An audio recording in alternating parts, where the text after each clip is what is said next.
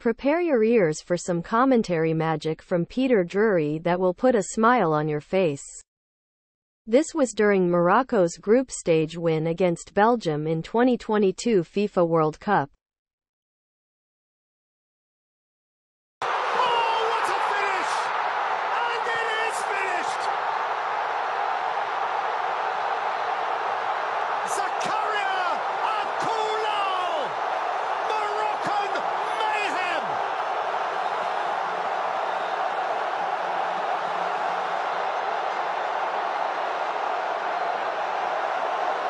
Drink it in, Casablanca!